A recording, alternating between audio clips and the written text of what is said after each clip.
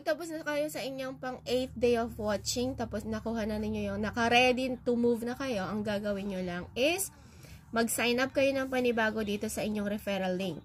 So, pag nakapag-sign up na kayo dito ng bago nyong account, log in kayo ulit dito sa old account nyo.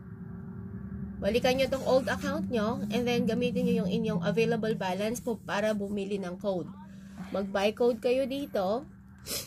So, kung ilan yung, kung magkano yung available balance nyo at kung ilan yung pwede nyong i-avail, ganun yung kuhanin nyo na code. Kung pwedeng isa, isa lang. Kung pwedeng dalawa, dalawa. Ngayon, kapag naka-buy code kayo, i-activate nyo yung inyong new account. I-activate nyo siya. Ayo. So, kapag na-activate nyo tong new account nyo, ipo-question nyo siya dito sa, sa baba.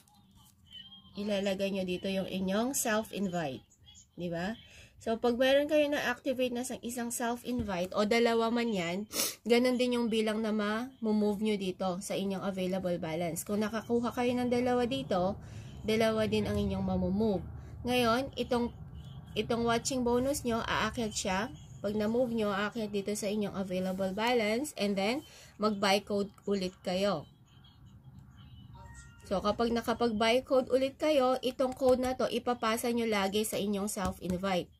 Ipasa nyo lagi sa inyong uh, username dito sa bago. And then, add na naman kayo dito. So, kapag nag-add kayo sa self-invite or sa new account nyo, dito kayo dapat naka-login.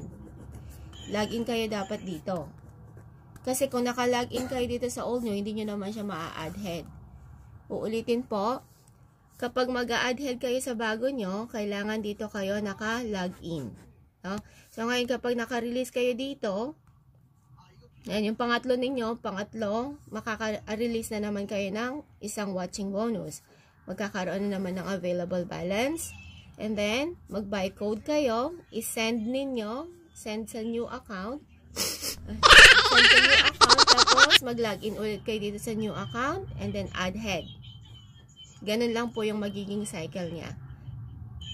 Ano lang na kapag mag-add head kayo dito sa inyong new account, iano nyo dito na magkabilaan para nakakakuha din kayo ng pairing bonus.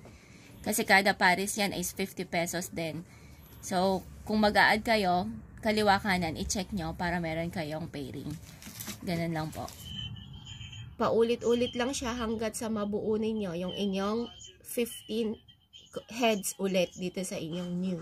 So, kung meron kayong natitirang pera, pag yung last na dito, ang gagawin nyo, mag-add head na lang kayo dito sa inyong uh, old account. Para meron na naman kayong hihintayin. Ganun lang po siya.